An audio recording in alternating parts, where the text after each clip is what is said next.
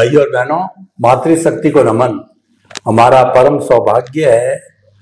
और मैं मेरी भाषा में बात करूँ तो हमारा आज का दिन, आज का सूर्योदय बहुत अच्छा हुआ है कि हमारे को अनुभवी ज्ञानी, पुरुष, अध्यात्म विज्ञानी, जो कि अनुभव वाणी अपने दर्शन से, ज्ञान से समझ करके जो बात बताते हैं और दृष्टि परिवर्तन की बात करते हैं। वो कोई धर्म का परिवर्तन नहीं कराते। कोई भी घर छोड़ने का परिवर्तन नहीं कराते। धंधे की बात जो संसारिक हमारा सेटअप है, उसको कोई परिवर्तन करने की, त्याग करने की बात नहीं करते। वो तो सिर्फ़ कहते हैं रॉन्ग बिलीफ को हटा करके राइट बिलीफ करो, जिसको आर्ट ऑफ़ विजन कहते हैं। बहुत सिंपल है और सिंपल में भी सिर्फ़ दो बातें करते हैं कि जो कुछ भी आपका पाँच इंद्रियों से, मन, वचन, काया से, जो भी आपका हिसाब, भुगतान, प्रवृत्ति जो चल रही है, वह सारा परिणाम है और आपका जो अस्तित्व है शुद्ध आत्मा का है। यानी मन वचन का ऐसे मुक्त ऐसा मैं शुद्ध आत्मा हूँ। ये दो बातें दृष्टि में बिठाने की कह रहे हैं। तो ऐसे स्वामी जी मिले स्वामी जी आपका बहुत बहुत धन्यवाद। सभी श्रोताओं की तरफ़ से आपके प्रति कृतज्ञता अभिवादन सत्कार। जय सच्चिदानंद। स्वामी जी अध्यात्म विज्ञान जो कि प्योरली विज्ञान है विज्ञान इसीलिए है कि यह अज्ञान का नाश करता है और रिलेटिव ज्ञान को भी अज्ञान का रूप देता है। यानी यह एक बहुत ही अध्यात्म विज्ञान, एक सुंदर मार्ग है मुक्ति का मार्ग है ये सनातन सत्य है। तो अब हम सनातन सत्य जो आप कहते हैं ये कुदरत कुदरती रचना और कुदरत के कानून पर आधारित है हाँ। तो हमें कृपया थोड़ा कुदरत की रचना का अभी तक कोई प्रश्न मैंने किया नहीं है। इन एपिसोड्स के अंदर कुदरती रचना और कुदरत के कानून के बारे में बताइए जो हमारा आधार है उस आधार को भी पुष्ट कीजिए। कि कुदरत क्या है कुदरत की रचना क्या है कुदरत का कानून क्या है ताकि लोगों को जानकारी तो मिले तो अध्यात्म विज्ञान की दृष्टि से बताइए। धन्यवाद। वैसे, वैसे तो, तो पूरी सृष्टि। छह सनातन तत्वों से बनी है। और सृष्टि के अंदर हम भी आ गए। सृष्टि क्षेत्रों से बनी है तो सृष्टि की सभी अवस्था भी क्षेत्रों से बनी है। और सृष्टि के अंदर आया हुआ सभी व्यक्तियों का मन आया छह क्षेत्रों से बना हुआ है। और छह से उनकी मनोचन की अवस्था छह क्षेत्र की है। छह तत्व से बाहर कुछ नहीं है। और इसीलिए वेदांत में लिखा है पिंडे सो ब्रह्मांडे और ब्रह्मांडे सो यानी पिंड और ब्रह्मांड में तत्व रूप से कोई अंतर नहीं है। तत्व एक ही है ब्रह्मांड में है वही पिंड में है। और पिंड में है वही ब्रह्मांड में है। मगर जो लोग ये सनातन तत्व को ध्यान दिया जिससे अवस्थाएँ बनती है उसके पीछे कुदरती कानून को ध्यान दिया जिस कानून के आधार से कुदरती रचना होती है। तो तत्व और कानून जान लिया फिर, फिर उसको मालूम होता है कि ये, दुनिया कुदरत की थी है और रहेगी। हमारा मनुष्य का भी कुदरत का था और रहेगा और हमारे सत्ता संसाधन का था और रहेगा। हम हम तो भुगतान करते हैं कभी मालिक की कर नहीं सकते क्योंकि पहले भी कुदरत का था और बाद में भी कुदरत का रहेगा। तो, तो फिर अपने आप व्यक्ति की दृष्टि में से मोह खत्म हो जाता है कि मेरे, मेरे को दुनिया में से कुछ पाना है। और जो, पाया है वो चला जाएगा। ये दोनों प्रश्न नहीं रहेंगे। क्यों क्योंकि पाना है। बिना हिसाब तो मिलेगा नहीं। और अगर पाया हुआ चला जाएगा तो वो तो, तो कुदरत का था कुदरत का है और कुदरत के पास रहेगा। तुमको तो भुगतान के लिए मिला है। मालिक के लिए नहीं मिला है। आप मानते हैं मालिक यही तो क्या है? आप मालिक नहीं हो। आपके पास जो पैसा आया पहले दूसरे के पास था। उससे पहले तीसरे के पास था।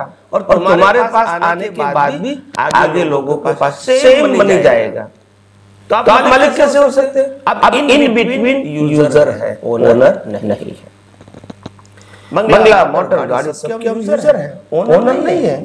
हर चीज़ों का हम मालिक नहीं है उपभोक्ता है। मगर मगर हम अज्ञानता से मालिक हो? जाते हैं क्योंकि हम सनातन सत्य को नहीं जानते। तो सबसे पहली बात छह सनातन तत्वों से कुदरत बनी है। वो छह सनातन तत्व क्या है? एक तत्व है आत्मा जिसको हम चेतन तत्व बोलते हैं। चेतन तत्व सनातन है। क्योंकि चेतन का जन्म जीवन मृत्यु नहीं है। जिसको हम आत्मा भी बोल सकते हैं शुद्ध आत्मा भी बोल सकते हैं। जो सबके अंदर है। कोई उसको माने या न माने चेतन के पास ही ज्ञान है। चेतन के पास क्रिया करने का वो नहीं है।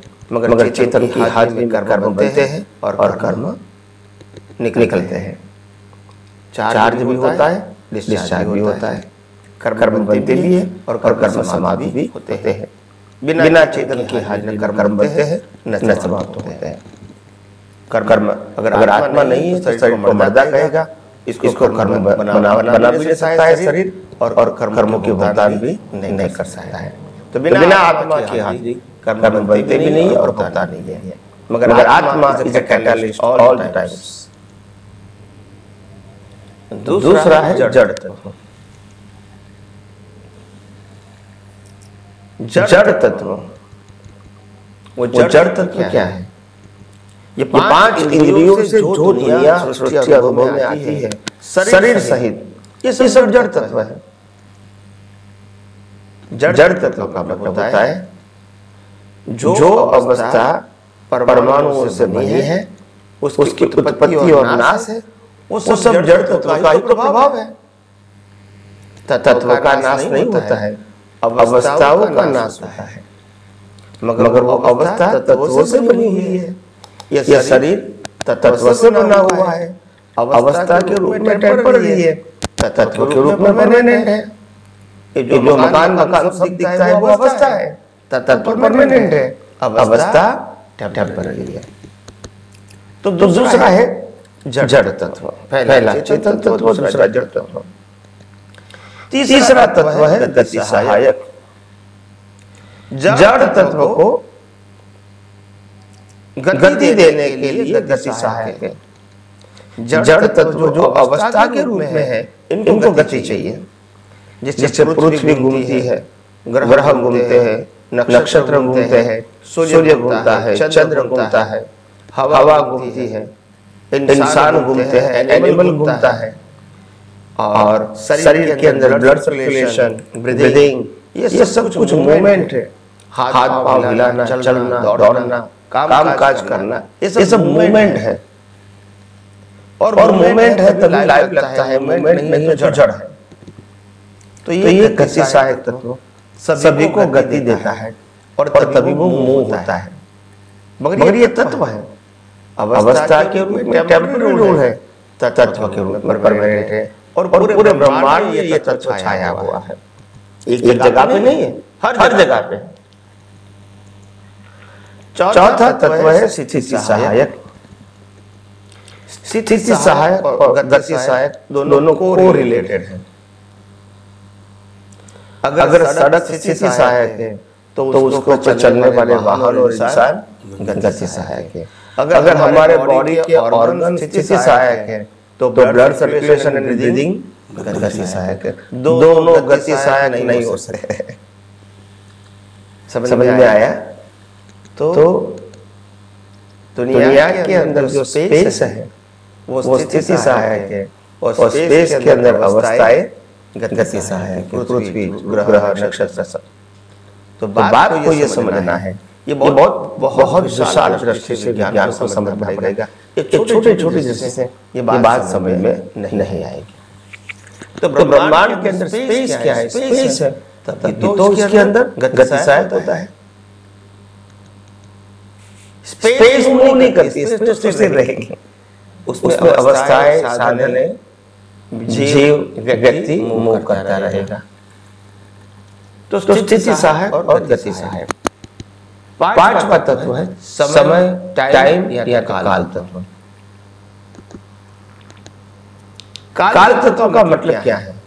वो लाइफ डिसाइड करता है। लाइफ कितने साल हुए काल तत्व। फिर कोई भी नए व्यक्ति को पुरानी नए को पुराना करना काल तत्व का काम है। जन्म देने वाले को मृत्यु देना काल तत्व का काम है। बीज को फल देना काल तत्व का काम है। समय तत्व। और समय तत्व नहीं होता है तो उसको नाप नहीं सकते। और इसीलिए कर्मों की भुगतान भी समय तत्व से जुड़ी कब मिलेगा। तो ड्यू डेट जीव केवल ज्ञान प्राप्त करेगा तो ड्यू डेट सिद्ध क्षेत्र में जाएगा तो ड्यू डेट तो इन बिट्टियों की संसार में तो ये समय तत्व लागू होगा ही। जब जब संसार से आत्मा जब सिद्ध क्षेत्र में चले जाता है वहाँ समय तत्व नहीं है ज़रूरत भी नहीं है क्योंकि अवस्था भी नहीं है। तो हाँ रिलेटिव सत्य ही नहीं है। जड़ तत्व ही नहीं है। तो, तो कहने का मतलब ये समय तत्व हर हर अवस्था को नापने में समझने में सहायक बनता है। मगर तत्व परमानेंट तत्व के साथ जुड़ी हुई अवस्था टेम्पररी और छठा और अंतिम तत्व है स्पेस जिस स्पेस के अंदर ये पूरी ब्रह्मांड कहो या सृष्टि कहो या एक्टिविटीज़ को वो चलती ही रहती है चलती ही रहती है। उसमें स्पेस छोटी बड़ी नहीं होती है स्पेस तो स्पेस होती है। उसमें एक्टिविटीज़ हो रही है। और वो एक्टिविटीज़ जो हो रही है वो सभी एक्टिविटीज़ का कंट्रोलर कुदरत है। सभी एक्टिविटीज़ का क्रिएटर कुदरत है। और सभी एक्टिविटीज़ का अंत भी कुदरत लाता है। मगर ये संसार के अंदर ये दुनिया के अंदर दो प्रकार की एक्टिविटीज़ है। एक, एक नेचुरल नेचर जैसे सूर्य चंद्र अमास पूनम भरती ओठ दिन रात ठंडे गर्मी बारिश। ये, ये सब का संचालक कुदरत है। वो नेचुरल नेचर है। नेचुरल नेचर का मतलब होता है अपने आप होना इसमें कोई बाह्य एविडेंस की ज़रूरत नहीं पड़ेगी। और, और दूसरा अननेचुरल नेचर है। अननेचुरल नेचर का मतलब कुदरत अपनी मर्ज़ी से नहीं बना सकती है। मगर वो आपके कॉज के ऊपर इफ़ेक्ट देगी। तो अननेचुरल नेचर होगा। कुदरत स्वयं आपको कोई भी अवस्था दे सकती नहीं है। देने वाली वो है। मगर कॉज के ऊपर आती तो इसीलिए ये आध्यात्मिक विज्ञान के अंदर हम जो छह तत्वों की बात करते हैं वो छह तत्व पहला तत्व चेतन तत्व दूसरा है जड़ तत्व तीसरा है गति सहायक चौथा है स्थिति सहायक पांचवा है समय तत्व और छठा है स्पेस ये छह तत्वों से दुनिया बनी है। और छह तत्वों से दुनिया चलती है। मगर लोगों को ये छह तत्व समझ में नहीं आया। इसीलिए आम जनता ने कहा ये दुनिया भगवान ने बनाई और भगवान चलाते हैं। क्योंकि विज्ञान समझ में नहीं आएगा। तो रिलेशन सत्य ही बताएगा और कोई ऑप्शन नहीं। है। तो ये, तो ये सबसे पहले समझ में आ गया छह तत्व। हम हम यहाँ बैठे हैं। यहाँ भी छह तत्व है। छह तत्व है जड़ तत्व है गति सहायक स्थिति सहायक टाइम है और स्पेस दुनिया की कोई भी अवस्था छह तत्वों के, के अलावा नहीं, नहीं हो सकती। छह तत्व से ही अवस्था बनेगी। इसीलिए ये छह का इंपॉर्टेंट आध्यात्म विज्ञान सबसे ऊपर है जिसका एक नाम है कुदरत। छह तत्वों का एक नाम है। कुदरत और इसीलिए कहा यह दुनिया कुदरत बनाई और कुदरत ही चलाती है। with the help of law of nature. तो, तो कुदरत की बात तो समझ में आई। अभी कुदरती कानून क्या है? कुदरती कानून का मतलब होता है सबके लिए एक है। जैसे दिन रात होता है। तो क्या क्या एक व्यक्ति और दूसरे व्यक्ति के लिए अलग अलग हो सकता है? ठंडी गर्मी बारिश की अवस्था अलग अलग हो सकती है। नहीं नहीं हो सकती है। पूनम अमास सबके लिए अलग अलग हो सकता है। नहीं नहीं हो सकता है। भर्ती ओट होती है वो अलग अलग हो सकता है। नहीं नहीं हो सकता है। ये हवा पानी खुराक जिस प्रकार से कुदरत हमको प्रोवाइड करती है। ये सब जो हमको मिलता है ये सब कानून से मिलता है किसी की मर्ज़ी से? नहीं। नहीं। तो, तो कुदरत का कानून का मतलब होता है? वो, वो कानून सबके लिए एक था एक है और एक ही रहेगा। मगर, मगर वो कानून समझने के लिए हमारे पास विशाल दृष्टि चाहिए। कि कुदरत कानून क्या है? आम इंसान के लिए। मैंने मैंने आगे आगे तो एग्ज़ाम्पल दिया दिया। उसके अलावा कुदरत का कानून ये है व्यक्ति का व्यक्ति को जन्म देना जीवन देना और मृत्यु देना कर्मों के मुताबिक ये कुदरत का कानून है। कर्म का सिद्धांत कुदरत का कानून है। पुनर्जन्म का सिद्धांत कुदरत का कानून है। संसार में जैसा कर्म करेगा वैसा फल मिलेगा कुदरत का कानून है। कोई भी जीव को जीवित रहने के लिए हवा पानी खुराक देना कुदरत का कानून है। जो जो व्यक्ति ने जो कर्म किया है उसकी भुगतान के लिए उनका आयुष्य देना हवा देना पानी देना खुराक देना कुदरत का कानून है। उनके कर्म के मुताबिक गति देना मनुष्य गति पशु योनि नर गति देव गति। कुदरत का कानून है। ये कोई कोई व्यक्ति धर्म समाज का कानून नहीं है। तो, तो कुदरत का कानून का मतलब होता है? ये ब्रह्मांड जो रहस्य रूप से चलती रहती है। वो सभी कुदरत के कानून के मुताबिक होता है। उसमें हम सब भुगतान करने वाले हैं। हम हम कानून के अधीन हमारा प्रत्येक श्वास और प्रत्येक जीवन की अवस्था है। कानून के बाहर एक श्वास भी नहीं ले सकते। इतना जड़ सलाह कुदरत का कानून है। ये दुनिया के अंदर जहाँ तक अज्ञान है जो जो दुनिया कुदरत की थी कुदरत की है और कुदरत के पास रहेगी और साधन संपत्ति सत्ता और सबन सब कुदरत का ही था है और रहेगा। मगर ये बात कुदरत की थी है और रहेगी।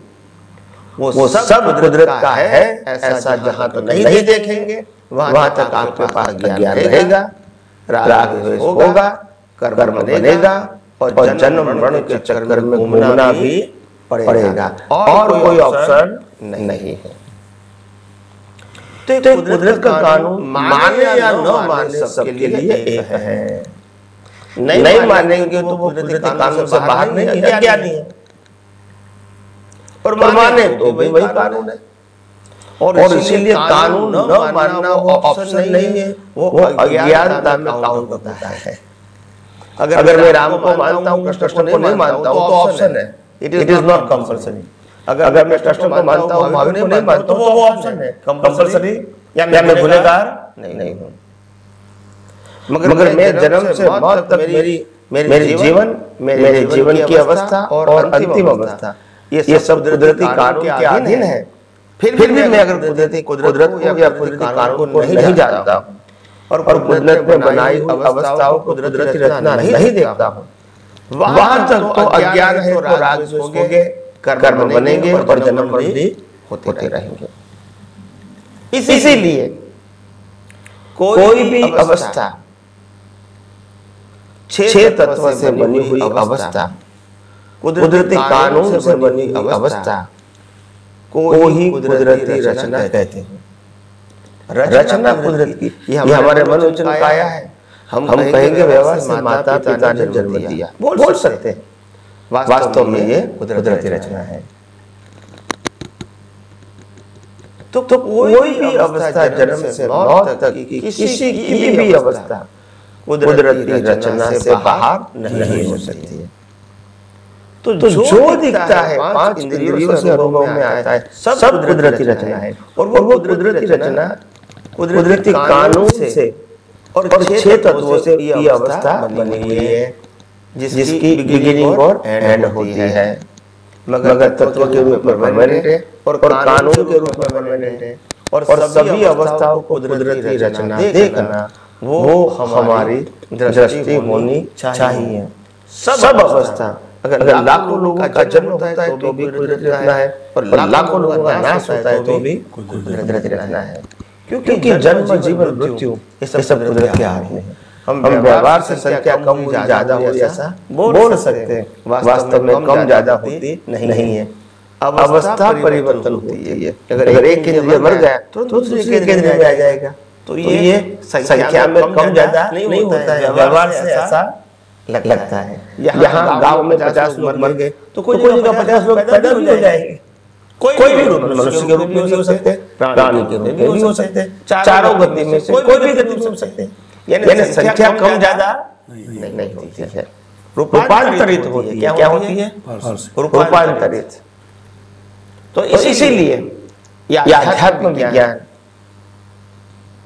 जन्म से मौत तक मन वचन काया की सभी अवस्था मन वचन काया उनकी सभी अवस्था और पाँच ज्ञानेंद्रियों से अनुभव में आती पूरी सृष्टि को आध्यात्म विज्ञान कुदरती रचना ही मानते हैं और इसीलिए अगर हम कुदरत खुद कानून और कुदरती रचना को दृष्टि में रख के जीवन जिएँगे तो हमारे जीवन में अभी, अभी कोई नई दिक्कत आना है वो तो, तो संभव नहीं है। तो, तो इसीलिए मैंने मैंने कहा यह आध्यात्मिक विज्ञान को समझना है तो कुदरत कुदरती कानून और कुदरती रचना को समझना पड़ेगा अपने ही जीवन को आध्यात्म के मार्ग मुक्ति के मार्ग में आगे ले जाने के लिए यही सरल सहज सुगम और सर्वश्रेष्ठ मार्ग है। आइए हम इसी मार्ग को आगे जाके यथार्थ में समझने की कोशिश करें और अपना जीवन धन्य बनाए। स्वामी जी आपका बहुत बहुत धन्यवाद कुदरत जिसमें ये छह तत्व रहते हैं, चेतन, जड़, मोशन, रेस्ट, टाइम और स्पेस। इसका नाम कुदरत है और ये कुदरत की रचना है। और कुदरत का कानून as you will sow so will reap जैसी करनी, वैसी भरनी। जैसा करोगे, वैसा पाओगे। यानी आपके कर्मों के अनुरूप जो है, आपको फल मिलेगा। या नेचुरल कुदरत है, सूर्य, चाँद, ये ऋतुएँ। ये अपने हिसाब से होती, समय से होती है। ये सारी कुदरत की बात आपने कही और सबसे बड़ी बात आपने ये बताई कि कुदरत की रचना और कुदरत के कानून को हम मानते हैं तो ये हमारा अज्ञान का नाश करने वाला है। और इस कानून को क्योंकि इसके बियॉन्ड कोई है ही नहीं? ये तो सुप्रीम है, उसको हम नहीं मानते हैं उसका पालन नहीं करते हैं तो ये हमारा अज्ञान है। और अज्ञान का मतलब आवागमन और विज्ञान का अर्थ होता है मुक्ति। तो रास्ता आपको ढूंढना है कि आप आवागमन करना चाहते हो, मुक्त होना चाहते हो। उसके अनुरूप अपनी दृष्टि में, ज्ञान दर्शन में फिट कीजिए चीज़ को। बहुत बहुत धन्यवाद स्वामी जी आपका। जय सच्चिदानंद। जय सच्चिदानंद।